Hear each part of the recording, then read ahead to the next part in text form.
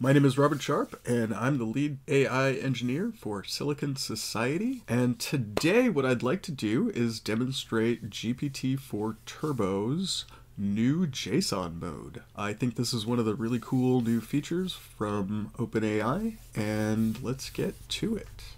All right, so to start off, I have a, a new project here in PyCharm. And we have requirements, OpenAI, and python.env. I also have my API key stored in .env file. We're going to leave that off screen for right now. And I have a little install script that just updates pip. It installs my requirements from the requirements file. That's all the code that I have defined so far. And we're going to go ahead and run this and make sure that my environment is up to date. And sure enough, it is. So that's good.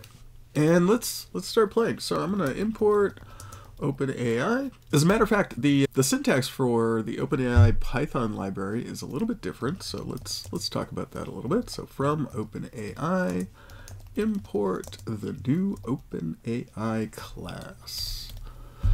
All right. And we're going to do we're to load .env. So from .env import load.env and we'll go ahead and run that. That gets our environment variables in memory, and then we're going to uh, instantiate our OpenAI client. And in here, I need to specify my API key, and I'm going to use the OS getenv in order to get that from my .env file. And in here, it's called OpenAI key. There we go. OpenAI API key, rather. All right. And what we're going to do is do a chat completion. With the new syntax, it kind of looks like this. So I want to do client dot chat dot completions dot create and then we're going to give it the usual input that we would give the OpenAI chat completion, right? So we have uh, messages and I'm just going to set that to an empty list for right now. We'll come back and fill that out. And we need to specify the model, which is GPT-4 1106 preview. This model is brand new. You may not have access to this preview version, but this is uh, GPT-4 Turbo Preview and we're, we're playing with the JSON mode. So there's a couple of different things that we need to specify in order to turn on JSON mode. One of them is the response format. Okay, and we specify the response format like this. We say type is equal to JSON underscore object. Okay, that's one thing that we need to do. The other thing that we absolutely have to do is in the system prompt. So we're going to define a system prompt here, role system, and then we need content. And inside this content, we need to specify that we want JSON as the output. If we don't specify it in the system prompt, uh, I believe it'll give us an error. So what I want to do here is say, please output valid JSON. Okay, that's that's my entire system prompt for this. Okay, and then in the user prompt, go role user content. In here, we're going to specify a little more details about what we want. We're going to come back to that though. I'm just going to leave some ellipses there so I remember to finish that out. One more thing that I want to specify here is I want to set the temperature pretty low.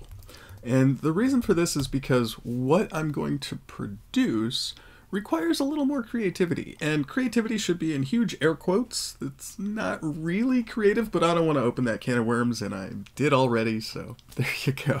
Then we need to unpack what we get back from OpenAI. And I just noticed a, a little flub here. What, what I'm going to do is do this little guy right here so that we just get the very first thing. I'm only asking for one response and this code right here will just grab that. That's instead of doing something like choices index zero. I, I think code that has indexing like this is a little messy, so I avoid it when I can. Then we want to grab the content from the chat completion dot messages dot content. Okay, and then I want to make sure that this reply is JSON compatible, right? So I'm going to do json.loads content, and then I'm going to print out what we get. And I'm actually going to print out the content here. This this line is really just here to alert me if the JSON is, is not valid. So we'll go ahead and import JSON.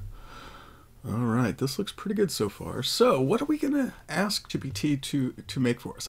I'm going to specify a user prompt to ask it to build some characters for an imaginary RPG. And I think I think this domain is pretty good for playing with JSON because we have a complex data type potentially with lots of little details that have to be right. So let's see, create a character for an RPG and we'll just do that for right now, okay? We'll, we'll just give this very, very simple thing and we'll go ahead and put that here so that our messages has that in it as the, the user prompt. Now already we should get valid JSON out. So let's go ahead and confirm that and run this. Of course, there's probably a, a bazillion people trying to access this all at the same time, so this might be a little slow, and I made a typo.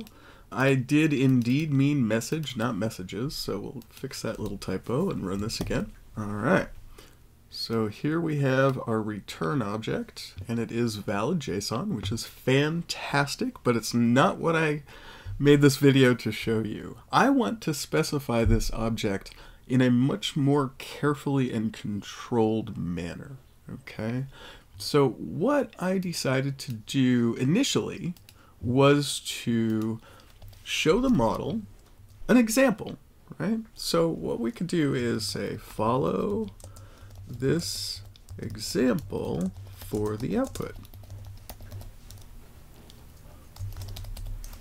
Right? And we can define maybe name and we can say okay this is a, this is a string and we can say you know class and this is a string as well and maybe we want level which is obviously an int and okay, that's good for right now. And this will work. We can go ahead and run this to make sure. And there we go. Okay, so it doesn't have all the extra stuff that it came up with on the first go around, and it just has what we asked for. Fantastic. But what if my RPG game doesn't have warriors? Maybe we only have fighters, wizards, and clerics in this simplified game. Well, what I realized that we can do is be a little bit more pedantic with our type specification. And that's a little foreshadowing. We'll come back to that in a minute. So, okay, so in class, what we can say is we want a literal, right? A string literal that is fighter, wizard, or cleric, right? Those are the only options, and that's what this literal type represents. Okay, so if we run this again, it should be one of those three. Excellent, we got wizard. Let's run it again and just to run it a few times here to make sure that it's not going to hallucinate some other class that we don't support. Aldor the Brave. Awesome. Okay, so what if we want to take this to the next level? Now, I played with a lot of different strategies for for defining things like you know, maybe we want to specify the damage types, right? And each character can have up to three damage types. How would we define something like that here? And what I found is that if you wanted to, you, you can do that, right? So damage types, and this is going to be a list of literal where we want to specify the exact damage types and I'm gonna copy and paste here because I'm lazy but we can do something like that But how can we say that we want up to, to you know, some number of those? And that's that's where I kind of started writing pseudocode. And it kind of worked, but it wasn't really any better than doing a fine-tuned model on not enough data, right? The the error rate was 5% or so, and it, it was okay, but it wasn't great. And then it dawned on me, what if we used Pydantic? Instead of giving it this object as as the specification, what if we defined a Pydantic model in order to define exactly what we want. Pydantic is is what I use on APIs to validate incoming data already, and you know having those two systems speak the same language just seems so elegant.